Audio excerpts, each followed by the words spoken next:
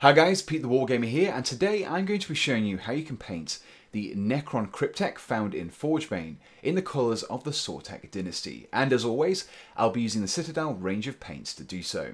Before we can begin painting our miniature, we first of all need to assemble and prime it. I've only partly assembled the miniature to make painting those hard to reach areas much easier. I've also primed this miniature using a black primer as there are quite a lot of dark colours on this miniature that the black base coat will assist in painting. The first area of our Cryptek to paint is its silver body and for this we'll be using Leadbelcher. However, before we start to paint, we will want to mix in a little water with our paint. And to do this, take a brush load of Leadbelcher and mix it with roughly equal quantity of water. The reason we do this to our base coat is to thin down the paint. This means that when we apply it to our miniature, we don't accidentally apply it too thickly and obscure some of the details. Using our thinned down mixture of lead Leadbelcher, we now want to paint over all of the silver metallic areas of our Cryptek, which for the most part includes the torso, arms, legs, as well as part of the Canoptek cloak as well. If after applying your first layer the paint hasn't covered perfectly, then don't worry. Simply allow the paint to dry and then apply a second layer over the top. This will result in a much smoother finish than if you had painted on a single layer of a non-watered down paint. Much like our base coats, when we come to apply washes, we also want to water them down a little and the Nuln oil that I'll be using in this step is no exception. Again, I find that mixing in roughly equal parts water to the wash results in a mixture which will provide a much more subtle looking shading than if you had applied it straight from the pot. With the wash watered down, we can now start applying this over the silver metallic areas. This wash will have two effects. Firstly, it will darken down the silver areas a little, which will help to contrast when we paint on the highlight later.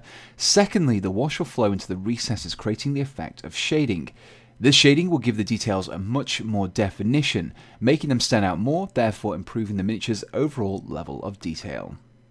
The next step in painting your Cryptek is to apply a layer of Ironbreaker, which is a slightly brighter silver, over the areas we painted in the previous step. Like before, I have watered down my paint slightly and will be focusing my application to the top sections of the model.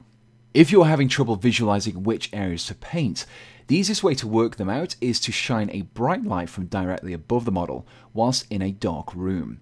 The areas that are illuminated by the light should be painted with the Ironbreaker. Now this may result in some areas only being half painted with the Ironbreaker, but this is intentional. By having two shades of metal, we will create a much more realistic looking miniature. When we come to apply our highlights, watering down our paint will really help in improving the flow of the paint off the brush. This will make getting those thin lines much easier. However, unlike previous mixes, we don't want to mix in quite as much water. I find that a mixture of two parts paint, in this case Stormhost Silver, to only one part water is a preferable mixture for your highlights. We now want to lightly drag the tip of a thin brush dipped in our Stormhost Silver mixture along the raised edges of our silver metallic areas. This will create a small line of bright silver along the outside of the panels, which will create the appearance of light reflecting off of these hard edges. The next areas to paint are the various bronze areas of the miniature. These include the segmented cloak, areas of the staff, and also some of the details on the face and torso. We want to begin painting these areas with a dark colour first of all, and for this I'll be using Warplock Bronze. Apply this paint as we did with our Ironbreaker base coat previously. The next step in tackling our bronze areas is to lighten them up a little, and for this we'll be using Brass Scorpion. Apply this paint over all the bronze areas, but leave the darker Warplock bronze visible in the recesses. This contrast between the lighter colour on the surfaces and the dark colour in the recesses will really help the details to stand out. After our layer of Brass Scorpion has dried, we now can apply a wash of Agrax Earthshade over the whole area. This will serve to both further enhance the previous contrast we achieved between the darker and lighter colours, whilst also slightly dulling down the bronze colouring as well. To finish off painting the bronze areas, we now want to paint on an edge highlight and this time we'll be using Fulgurite Copper. You should find that our dulling down of the surface with our wash in the last step will help this highlight to stand out much more prominently than if we hadn't applied the Agrax Earthshade. So to apply the highlight, simply follow the same steps as with our previous highlight to pick out those hard edges. At this stage we have finished painting all of our metallic areas, which means we can start painting the greens on this miniature. The first step in doing so is to start off painting all of the armor panels and blades of the staff using a base coat of Caliban Green. The next paint we will be using is Warpstone Glow and we'll be applying this in three distinct ways. The first of which is an edge highlight of all the areas that we painted using Caliban green. The second way that we'll be using Warpstone Glow is as a base coat for the various glowing green areas.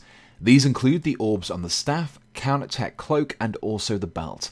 As Warpstone Glow is not a base paint, you may find that you need to apply a couple of extra layers in order to get a smooth and even base coat, so make sure you thin down your paint. Finally, we'll be using Warpstone Glow as a glaze. However, before we do this, we want to reduce the strength of the pigmentation in the paint, and for this, I'll be mixing in some Lahmian Medium. Much like the base coat, we want to use a ratio of roughly 1 part paint to 1 part medium.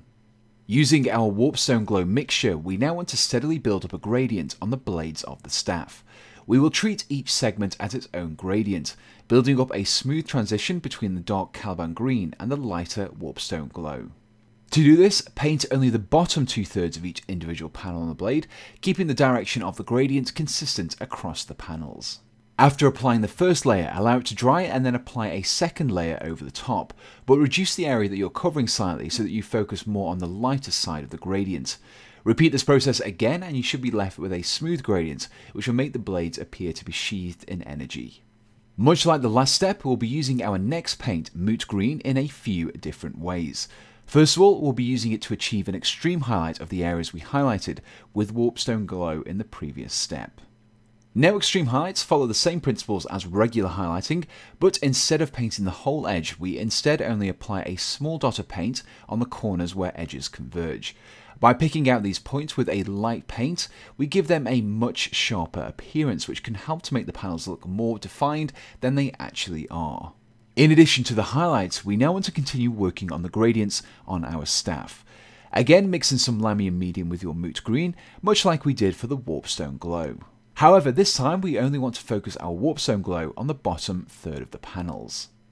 Once the blades are complete, you can now apply your Moot Green glaze to the various green orbs dotted across the miniature. When painting these areas, focus on the centre two-thirds of the orb, leaving the darker warpstone glow visible along the edges. Before we move on to our highlight, we first of all want to apply a layer of Waywatcher green glaze over the blades and the orbs. This glaze will serve to unify the previous layers, helping to smooth out the transition. The final paint to use on our green areas is Gauss Blaster Green, and we want to start off by highlighting the edges of our crystal and also the blades.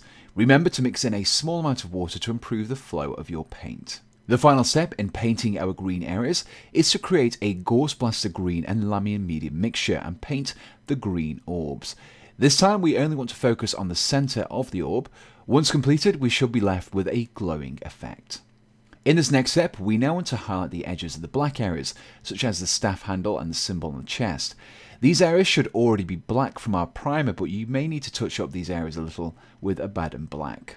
Once you've done this, you can then go ahead and highlight the edges of these black areas using Dawnstone. The final step in painting our Cryptek is to tackle his white head, and for this we want to start off with a base coat of Celestra Grey. You will find the application of two thin layers particularly effective in ensuring good coverage over the black base coat. To finish off the head, we now want to apply a thin edge highlight of white scar along the edges. You can also use this paint to apply a small dot of white to the centre of the green orbs to help enhance their glowing effect. And here we have the completed Cryptek that has been fully assembled and based in an appropriate Necron theme. You can find a full list of all the paints that I've used in the tutorial in the description below. And so that concludes this video on painting the Necron Cryptek. Now whilst I'm focused on a Cryptek in this tutorial, you could apply the exact same colours and techniques featured in this video to any of the Necron miniatures that you want to paint up in the colours of the Sautekh dynasty. Now if you enjoyed this video, please do let me know in the comments below along with your suggestions for future tutorials you would like to see me tackle in the future. Make sure to give this video a like and also hit the subscribe button if you want to keep up to date with all of my latest content. And if you're interested in supporting me and this channel and uh, in making future videos, you can do so by checking out my Patreon page, which you can find a link to in the description below. So the only thing left to say is thanks for watching and goodbye.